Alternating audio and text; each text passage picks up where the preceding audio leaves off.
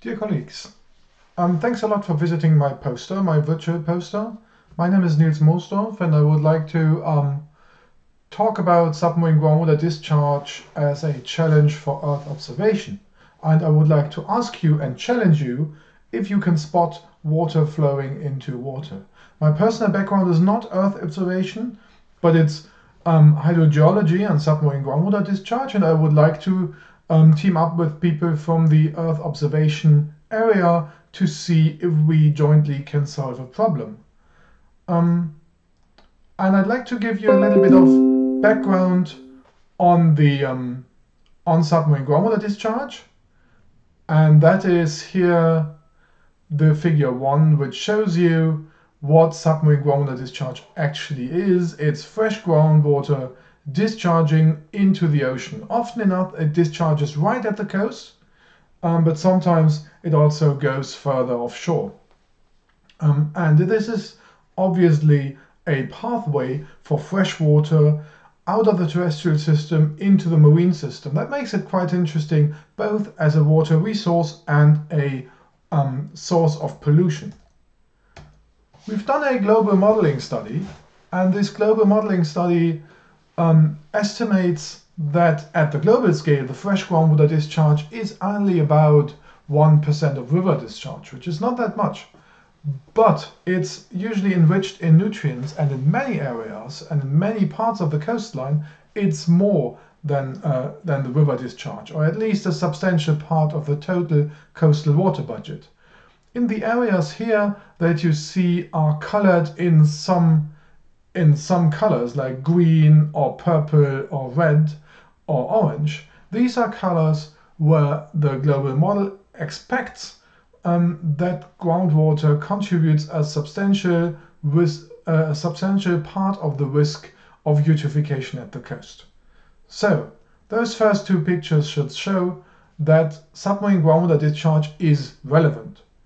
Now, how does it look like at the local scale? It can look like this. This is a submarine spring. Um, so basically a spring in the ocean in uh, Croatia. And you can see nicely that you have this form, the plate-like form on the top of the ocean. Um, the spring is actually in some tens of meters of depth. Below you can see another spring. Um, this is in a shallow coral reef. So these springs are extreme, they're not uncommon, but we do not know how many of those springs are there. We do not know if we even know the biggest spring that's to find, because many areas of the world are not have not been scouted for those submarine springs. And this is to me an intriguing challenge since we have the global modeling in place, but obviously we are lacking the data to um, to um, to evaluate our predictions. And this is something I'm looking for global scale observations of, or at least for remote observations and scouting and explorative approaches towards submarine springs. And those submarine springs, as you see here, they can be detected via remote sensing. So they can cause surface water temperature anomalies you see at the top of this picture, for instance, of this image, there's um, a beautiful plume of colder, here green, water that flows into the ocean off Hawaii. And here you also quite clearly see that. This is not a stream. This is groundwater that flows in there. Okay, so groundwater can change surface temperature. It can change. It can it can transport um, sediments, and by that um, change the water color. It also changes the, um, the behavior of the sea surface if it's strong enough. So there's lots of things that we might be able to detect.